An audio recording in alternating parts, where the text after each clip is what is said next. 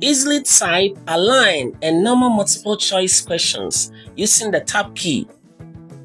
When typing multiple choice questions, efficient use of the tab key can save time and improve formatting. With the numbering command on, type the question, press enter to move to the next line. Use the tab key to create an indentation that turns the number into letter A. Then type option A.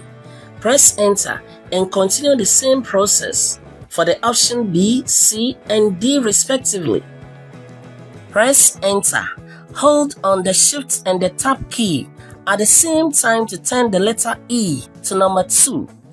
Then type the question and press enter to move to the next line.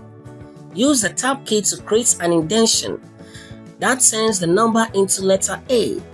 Then type option A press enter and repeat the same process for option B, C, and D.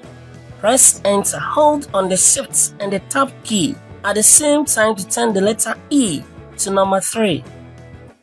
With the numbering command on, type the question, press enter to move to the next line.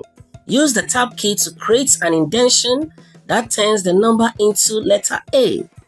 Then type option A. Press enter and continue the same process for the option B, C, and D respectively. That's it, Tech Tricks GH. Follow for more. Don't forget to share, like, subscribe, and hit the bell notification for more tutorials.